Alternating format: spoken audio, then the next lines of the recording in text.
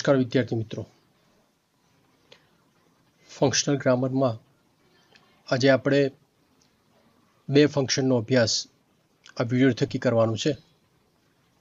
પહેલું ફંક્શન છે describing person place and thing અને બીજું ફંક્શન છે showing or expressing reason and result અગાઉ પણ આપણે જે રીતે ફંક્શનનો સ્ટડી કરેલો છે તે જ રીતે આપણે આ વિડીયોની અંદર ફંક્શનનું સ્ટડી કરવાના છીએ.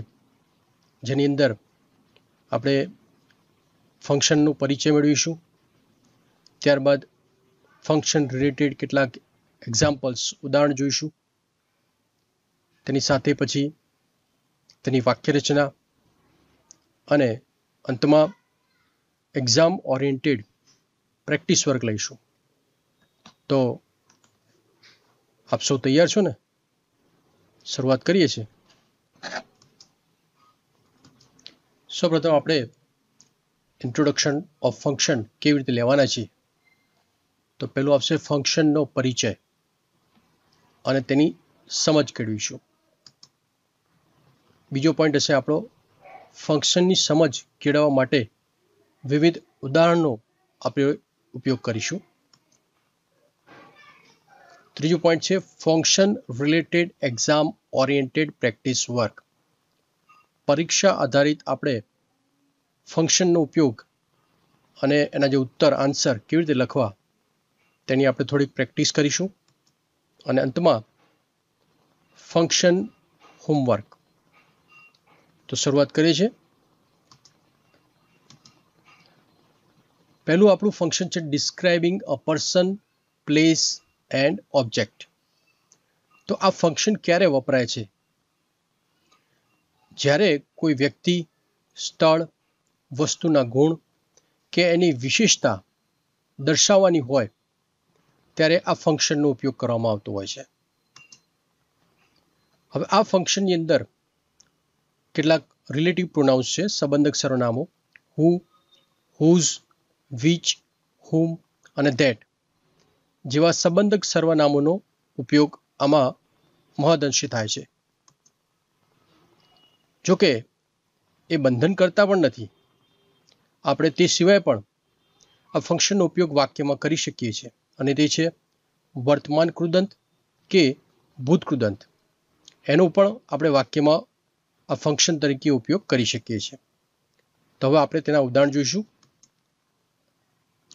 Rohini is a slim and beautiful girl Rohini એક પાતળી અને સુંદર છોકરી છે. તો આ રોહિણી છે. એ રોહિણીનું ડિસ્ક્રાઇબિંગ એટલે કે એનું વર્ણન કરવામાં આવી રહ્યું છે કે હાઉ ઇઝ રોહિણી? તો કે she is a slim and beautiful girl તો અહીંયા રોહિણીનું વર્ણન કરવા માટે થઈને અલગ અલગ વિશેષણનો એટલે કે ગુણ તરીકે ઉપયોગ કરવામાં આવે છે. Another example.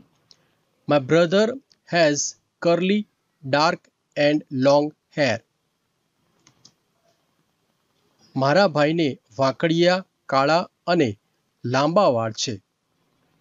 તો અહીંયા પણ ડિસ્ક્રાઇબિંગ પર્સન કોણ? માય બ્રધર એનું વર્ણન કરવામાં આવ્યું છે.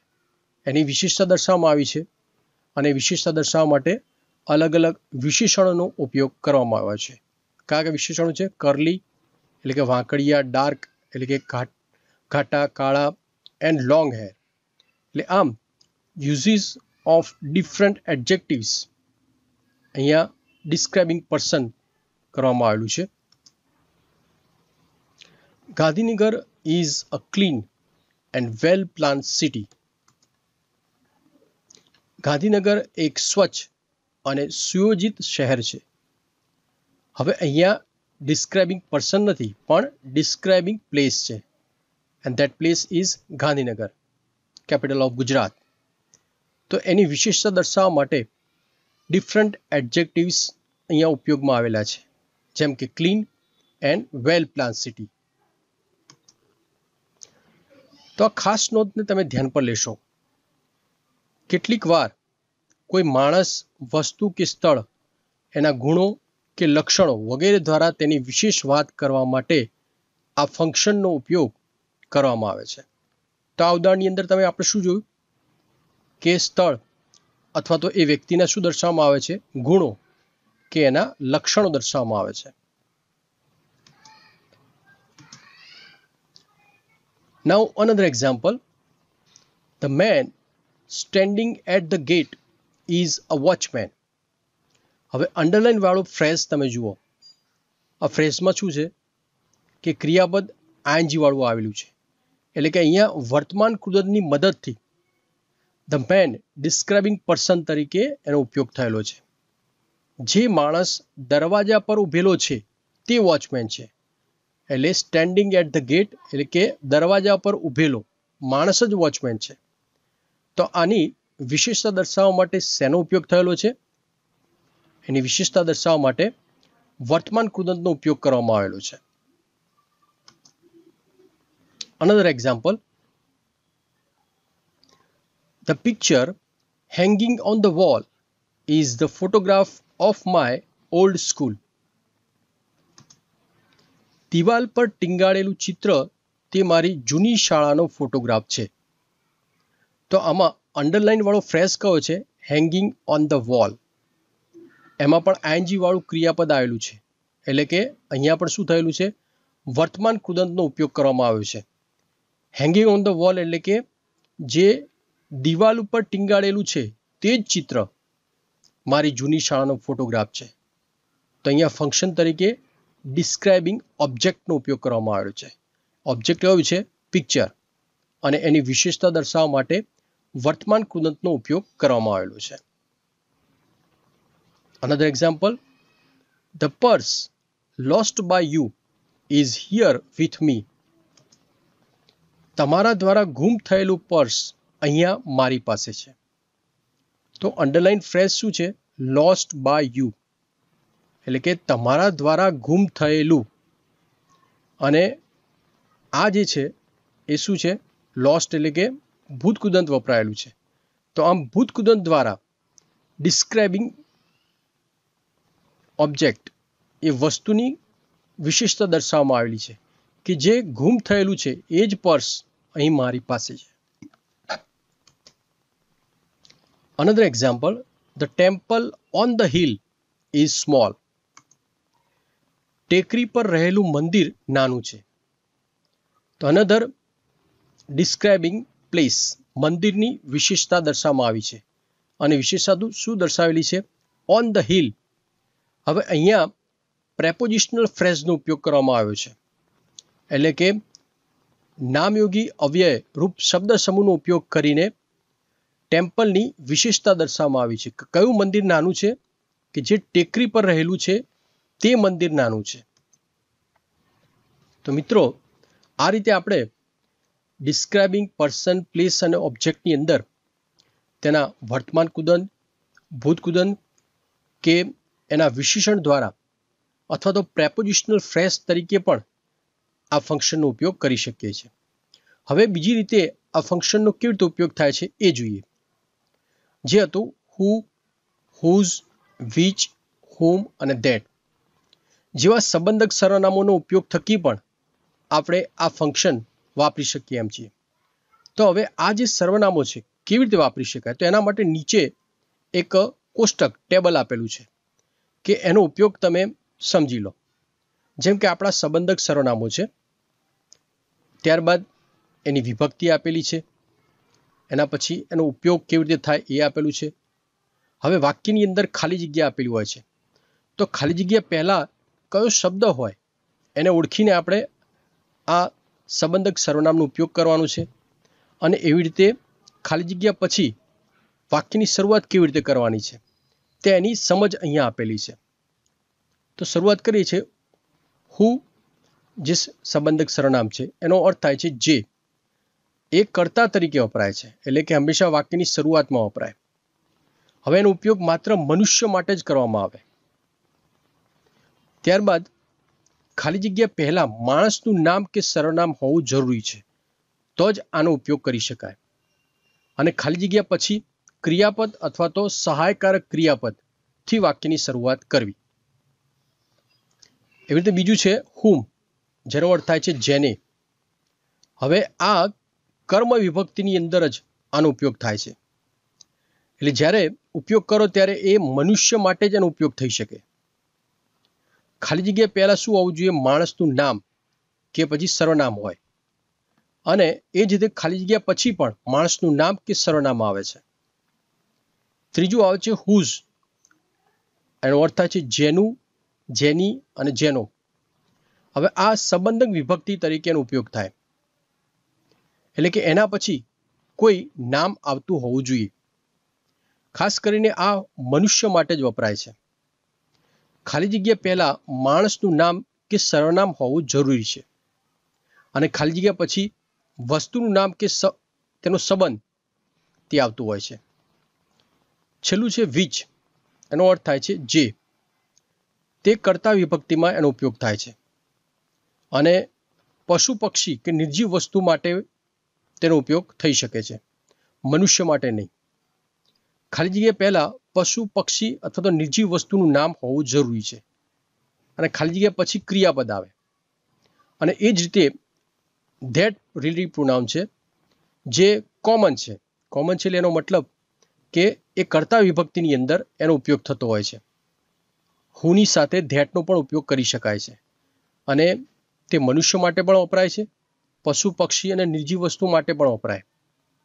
અને ઉપયોગની દ્રષ્ટિએ સરખું છે કે માણસનું નામ હોય કે સરનામ હોય અથવા તો પશુ, પક્ષી કે નિર્જીવ વસ્તુનું નામ હોય. અને ખાલી જગ્યા પછી ક્રિયાપદ કે સહાયકાર ક્રિયાપદ એ હોઈ શકે છે. તો આટલી બાબતને આપણે ધ્યાન પર લઈશું. અને એના આધારે હવે આપણે ઉદાહરણ લઈએ છીએ.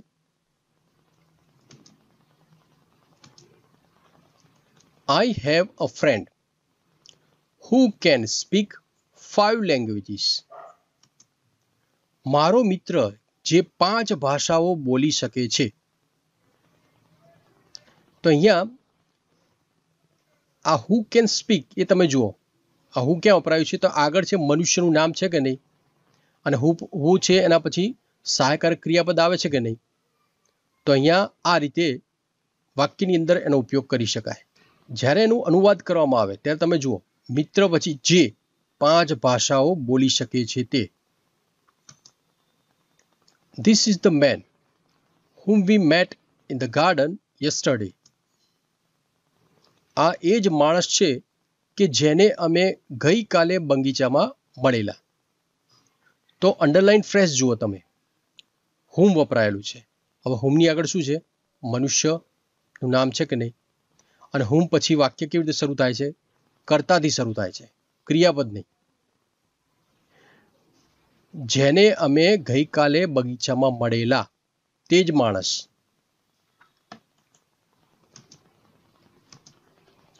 The boy whose parents are lost is cry જેના માતા પિતા ગુમ થયેલા છે, તે છોકરો રડી રહ્યો છે. તો અંડરલાઇન ફ્રેઝ જુઓ. હુઝ પેરેન્ટ્સ આર લોસ્ટ જેના માતા પિતા ગુમ થયેલા છે. તો હુઝ છે? રિલેટિવ પ્રોનાઉન તરીકે કેવી રીતે વપરાયું છે? તમે જુઓ. એના પછી નામ આવેલું છે કે નહીં? એ નામ છે એક વચન કે બહુવચન પણ હોઈ શકે છે. અને માત્ર મનુષ્ય માટે જ વપરાય છે. તો આગળ મનુષ્ય તરીકે નામ આવેલું છે. The picture that is lying on the floor is on sale. ભોંયતળિયા પર પડેલું ચિત્ર વેચાણ પર છે. તો અંડરલાઇન ફ્રેઝ જુઓ.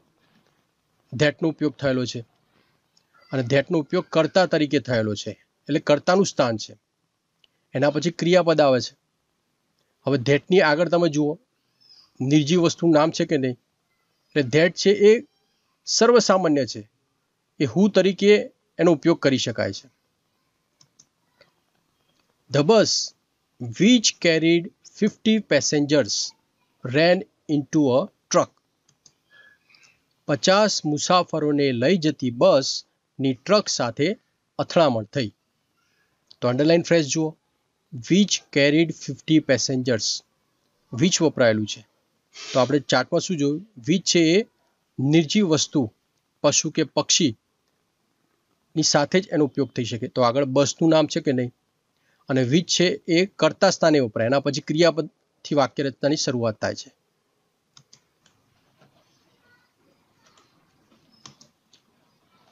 તો મિત્રો, હવે આપણે બીજું ફંક્શન લઈએ છીએ. અને ફંક્શન છે આપણું showing expressing reason or result કારણ કે પરિણામ દર્શાવવા માટે વ્યક્ત થતું આ ફંક્શન તો હવે આ ફંક્શનની અંદર કયા કન્જક્શન્સનો ઉપયોગ થાય છે? સિન્સ એઝ અને બીકોઝની વાક્ય રચનાનો ઉપયોગ થાય છે જ્યારે આપણે શોઈંગ કે એક્સપ્રેસિંગ રીઝન દર્શાવવાનું હોય ત્યારે. અને જ્યારે આપણે પરિણામ દર્શાવવાનું હોય વાક્યમાં તો સો અને ધેરફોરનો ઉપયોગ થાય છે. એટલે કે પરિણામ દર્શાવવા માટે શું, કયું ફંક્શન આવે? શોઈંગ ઓર એક્સપ્રેસિંગ રિઝલ્ટ તો ઉદાહરણ જોઈશું આપણે. We lose the match because we played poorly હવે અંડરલાઇન વાળો જે ઉપવાક્ય છે તેને જુઓ. અમે મેચ ગુમાવી દીધી. તો આ જે ઘટના બની, તો એની પાછળનું કારણ શું છે? કે બિકોઝ વી પ્લેડ પુઅરલી કારણ કે અમે ખરાબ રમ્યા હતા. તો અહીંયા આ ઘટના પછીનું કારણ દર્શાવે છે. તો કારણ દર્શાવે એટલે કયું ફંક્શન થયું? Showing reason or expressing reason since it hasn't rained enough, there is a drought in many parts of the state. જો કે વરસાદ પૂરતો પડ્યો નહોતો, એટલે રાજ્યના મોટા ભાગના વિસ્તારોમાં અછતની પરિસ્થિતિ છે. તો અંડરલાઇન ક્લોઝ કયું છે? Since it hasn't rain enough એટલે વરસાદ પૂરતો પડ્યો નહોતો એટલે મોટાભાગના વિસ્તારોમાં અછતની પરિસ્થિતિ છે. તો અહીંયા શું દર્શાવવામાં આવ્યું છે? શોઈંગ રીઝન એક્સપ્રેસિંગ રીઝન કારણ દર્શાવ્યું છે કે દુકાળની પરિસ્થિતિ પાછળનું કારણ શું છે? વરસાદ પૂરતો પડ્યો નથી.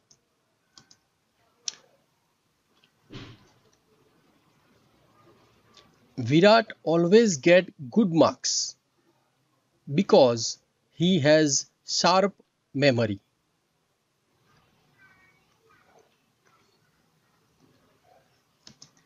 Virat હંમેશા સારા ગુણ મેળવે છે. તો કારણ શું છે? કારણ કે તેની યાદ શક્તિ તેજ છે. તો આ ઘટના છે કે વિરાટ હંમેશા સારા ગુણ મેળવે છે. તેની પાછળનું કારણ શું છે? તેનું કારણ છે કે because he has sharp memory કારણ કે તેની યાદ બીજું ઉદાહરણ જોઈએ. I am not going to attend the marriage function because I am not going to attend the marriage function because I have a test today. હું લગ્ન સમારોહમાં હાજરી આપીશ નહીં, કારણ કે આજે મારે ટેસ્ટ છે. તો મુખ્ય ઘટના છે કે I am not going to attend the marriage હું લગ્ન સમારોહમાં હાજરી આપવાનું નથી. પણ એ ઘટના પાછળનું કારણ શું છે? કારણ છે કે I have a test today તો અહીંયા ફંક્શન કયું બતાવેલું છે?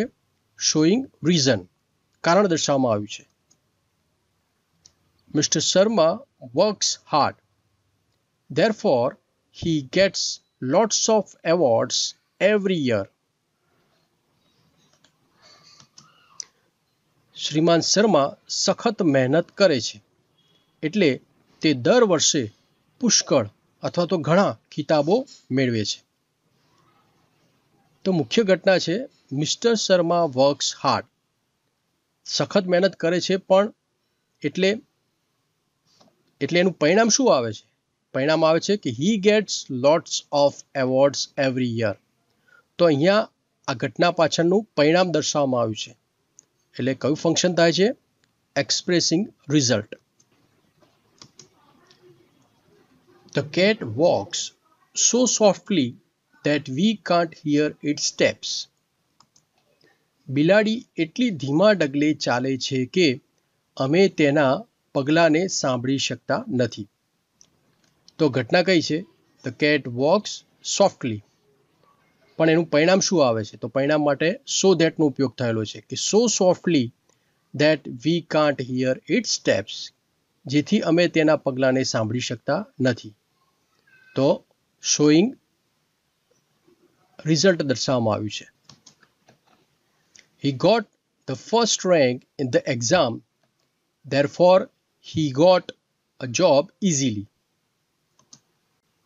તેને પરીક્ષામાં પ્રથમ ક્રમ મેળવ્યો. તો પરિણામ શું આવ્યું? એટલે તેને નોકરી સહેલાઈથી મળી ગઈ. તો ઘટના કઈ છે? He got the first rank in the exam પરીક્ષામાં પ્રથમ ક્રમાંક તેણે મેળવ્યો. એટલે એનું પરિણામ શું આવ્યું? તો therefore he got a job easily તો અહીંયા શું દર્શાવવામાં આવ્યું છે? Result showing result or expressing result He played so well that he got the first prize in the tournament. તે એટલું સારું રમ્યો કે તેને સ્પર્ધામાં ઇનામ મેળ્યું. તો મુખ્ય ઘટના કઈ છે? હી પ્લેડ વેલ તે સારું રમ્યો એ મુખ્ય ઘટના છે. પણ એનું પરિણામ શું મળે છે? That he got the prize in the tournament તો અહીંયા કયું છે ફંક્શન શોઈંગ રિઝલ્ટ તો મિત્રો, આ રીતે આપણે બે ફંક્શનનો પરિચય અને ઉદાહરણ સાથે તેની સમજ મેળવી છે. તો હવે આપણે થોડુંક પરીક્ષાલક્ષી પુનરાવર્તન એટલે કે પ્રેક્ટિસ વર્ક કરી જોઈએ. તો પહેલું ફંક્શન આપણે લઈએ છીએ describing person place and object બે પ્રશ્નોને આપણે જોઈશું. પહેલો પ્રશ્ન લઈએ છીએ આપણે complete the sentences using the function આ ફંક્શનવાળા આપણે વાક્યો લઈએ છીએ કે જેને આપણે પૂર્ણ કરવાના છે. જેમ કે ડુ યુ નો ધારો કે આ રીતે વાક્ય આપેલું છે અને અહીંયા ખાલી જગ્યા આપેલું હોય. તો અહીંયા આપણે જેમ કીધેલું હોય કે ડિસ્ક્રાઇબિંગ પર્સન તો વ્યક્તિ દ્વારા અહીંયા વ્યક્તિનું નામ આવવું જોઈએ અને આપણે આ વાક્યને પૂરું કરવાનું છે. તો અહીંયા આપણે શું કર્યું છે? અહીંયા આપણે પ્રેપોઝિશનલ ફ્રેઝનો ઉપયોગ કર્યો છે. The boy with a dog જે છોકરો કૂતરા સાથે છે, તેને તમે જાણો છો? આઈ મેટ પછી ખાલી જગ્યા હોય. તો અહીંયા પણ આપણે પ્રેપોઝિશનલ ફ્રેઝનો ઉપયોગ કર્યો છે. ડિસ્ક્રાઇબિંગ પર્સન ફંક્શન છે આપણું. And old man with a long stick લાંબી લાકડીવાળા વૃદ્ધ માણસને હું મળ્યો. The boy with blue bike is my brother તો અહીંયા આપણે ફરીથી આપણે ડિસ્ક્રાઇબિંગ પર્સનનો ઉપયોગ કરેલો છે અહીંયા. કે જે છોકરો છે એની આપણે ખાસિયત દર્શાવી છે કે with a blue bike is my brother Shruti is my cousin who is clever at maths હવે અહીંયા તમે જુઓ છો કે અહીંયા રિલેટિવ પ્રોનાઉનનો આપણે ઉપયોગ કરીએ છીએ. હુનો ઉપયોગ કર્યો છે. આગળ નામ હોવું જોઈએ મનુષ્યનું. કે જે ગણિતમાં હોશિયાર છે. તે શ્રુતિ મારી, તે મારી પિતરાઈ બહેન છે. ઇટ ઇઝ અ કાઉ હવે ખાલી જગ્યા છે. તો અહીંયા આપણે વિચનો ઉપયોગ કર્યો છે. વિચ ગીવ્સ અસ મિલ્ક જે આપણને દૂધ આપે છે. તે ગાય. તો અહીંયા પણ the red fort that is well known place in Delhi તો અહીંયા ડિસ્ક્રાઇબિંગ પ્લેસ આવે છે. લાલ કિલ્લો. That is well known place in Delhi કે દિલ્હીનું એક જાણીતું સ્થળ છે. ધેટનો ઉપયોગ કરેલો છે. હવે એ રીતે આપણે બીજો પ્રશ્ન લઈએ છીએ કે જેની અંદર complete the dialogues using the function અને ફંક્શન પણ આપણું એનું એ છે describing person place or object Ram ask who is Bhargav Vikas replied Bhargav is my partner હવે એ ખાલી જગ્યા આપી છે કે હુ ઇઝ ઓલવેઝ ચીયરફુલ કે જે હંમેશા આનંદિત રહે છે. The teacher ask can you tell me about this book student replied this book હવે ખાલી જગ્યા આપી છે. તો અહીંયા આપણે ડિસ્ક્રાઇબિંગ ઓબ્જેક્ટ ફંક્શન છે. અને અહીંયા કયું છે? Describing person which I have seen in the library has been dropped somewhere. Rajan said, I want to tell you about Jaipur. Sajan replied, I too know about Jaipur is ખાલી જગ્યા છે known as the pink city તો અહીંયા પણ describing place તરીકેનો ઉપયોગ થયેલો છે અને અહીંયા આપણે ભૂત કુદંતનો ઉપયોગ કરી અને ફ્રેઝનો ઉપયોગ કરેલો છે.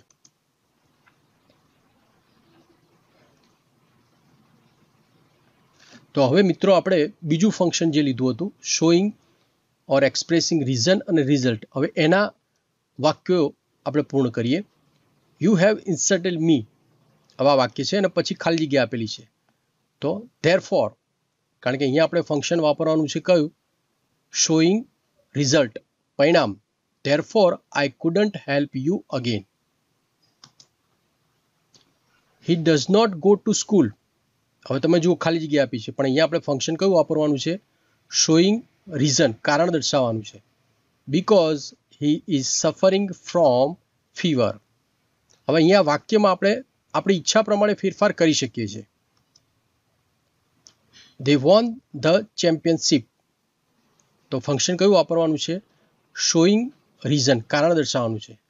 Because they perform well because they played well હવે આપણે આ જ ફંક્શનના ડાયલોગ્સ જોઈ લઈએ. Krima ask why were you not at school yesterday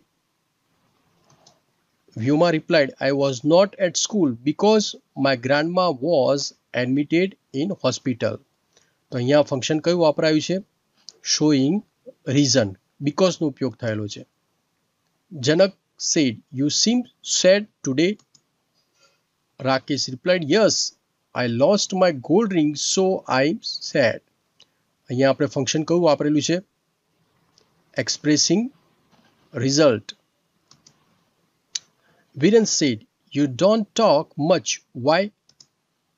Farhan replied, I don't talk much because I am worried about the exam. Because આવ્યું છે એટલે કયું ફંક્શન વપરાયું છે? ખ્યાલ તો આવી જ ગયો હશે તમને. શોઈંગ રીઝન કારણ દર્શાવવામાં આવ્યું છે. તો મિત્રો ફંક્શનનું કમ્પ્લીશન કરવાનું હોય, એ ડાયલોગમાં હોય કે સેન્ટેન્સની અંદર હોય. ત્રણ બાબતો ખાસ ધ્યાન રાખો. પહેલી બાબત છે ample knowledge of different words and its meanings શબ્દોની જાણકારી હશે, તો જ તમે વાક્ય બનાવી શકશો ને. Second thing is sentence structure વાક્યનું બંધારણ, વાક્યની રચના. શબ્દોના આધારે કેવી રીતે વાક્ય બનાવી શકાય? કર્તા, ક્રિયાપદ ને કર્મ. S V O subject verb and object આ ક્રમના આધારે પછી વાક્ય રચના બનાવતા આવડવી જોઈએ. And third and the most important thing is knowledge of tenses different tenses present tense, past tense, future tense અને એના જે સબ ટાઈપ્સ છે. Simple tense, continuous tense, perfect tense, continuous perfect tense. જો આ જાણકારી હશે, તો તમે કોઈ પણ ફંક્શન જે પ્રશ્ન છે, એનો જવાબ એટેમ્પ કરી શકશો. તો હવે આપણે હોમવર્ક તરફ આવ્યા છીએ. તો મિત્રો, આ ફંક્શનમાં જે અભ્યાસ કર્યો છે, તેના આધારે આપ સૌએ આ બે ફંક્શનની સમજ કેળવી લીધી હશે. હવે આ ફંક્શન મિત્રો આપણે પાઠ્યપુસ્તકના યુનિટમાંથી શોધીને તે કયા પ્રકારના છે અને તેના આધારે તેની વાક્યરચનાને પાઠના આધારે સમજવાની કોશિશ કરો. તેથી તમને ફંક્શન વિશેની કચાશ દૂર થઈ જશે. એટલે આપણું કામ શું છે કે હવે જે આપણે ફંક્શન શીખ્યા છે, તો જે યુનિટ અત્યાર સુધીમાં ચાલ્યા છે એકથી પાંચ યુનિટ તે પાંચ યુનિટની અંદર આ કન્જક્શનવાળા વાક્યો કયા છે? એને તમે શોધો એના આધારે તમને ખબર પડશે કે આમાં ડિસ્ક્રાઇબિંગ પર્સન છે ડિસ્ક્રાઇબિંગ પ્લેસ છે ડિસ્ક્રાઇબિંગ ઓબ્જેક્ટ આવેલું છે. એવી રીતે એક્સપ્રેસિંગ રિઝલ્ટ છે એક્સપ્રેસિંગ રિઝલ્ટ છે. અને ત્યારબાદ પાઠના આધારે એનો વાક્ય રચનાની સમજ કેળવું કે આ વાક્ય કેવી રીતે બનેલું છે. એનાથી તમારી કચાશ દૂર થઈ જશે. So at the end how did you like my presentation? Don't forget to subscribe it. આ રીતે આપણે નવા નવા ટોપિક સાથે મળતા રહીશું અને ચોક્કસથી તમારા જે કંઈ પણ વિચારો છે, એ વિચારોને અમે ધ્યાન પર લઈએ છીએ અને જ્યારે નવો વીડિયો બનાવીએ છીએ, ત્યારે વિડીયોની અંદર તમારા જે કંઈ પણ વિચારો છે અને એ વિચારોનો અમલ ચોક્કસથી એમાં કરવામાં આવે છે તો ફરીથી આપણે કોઈ નવા વીડિયો સાથે મળીશું. ત્યાં સુધી નમસ્કાર.